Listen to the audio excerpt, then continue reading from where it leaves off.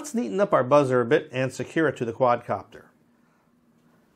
The wire is a bit long, so we could place this anywhere. I think I'm going to put it right down here. So I'm going to I'm going to put it underneath the antenna wire. Pull that out there. I'm going to take my wire and roll it up a bit just to make it a little bit smaller. I'm going to push these wires out of the way for the LED lights.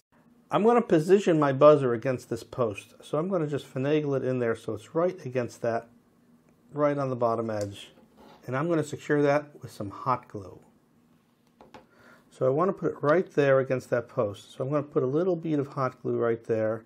And before it sets, I'm going to take this beeper and just set it right in there like that.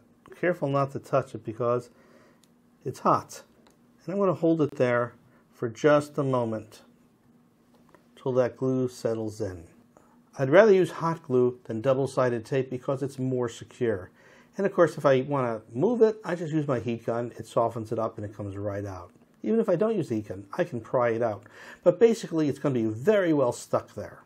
Okay. Now that I got my beeper right where I want it, I want to make it a bit more secure there. So I'm going to give a bit more hot glue right against that standoff. I'll clean up the webs when I'm done. And some more right there on the side. Just want to make sure it's really nice and secure. Great. I can clean that up a little bit once it cools with a, with a fingernail. That's not going anywhere. And I like it out the side like that so I can hear it even if it's upside down.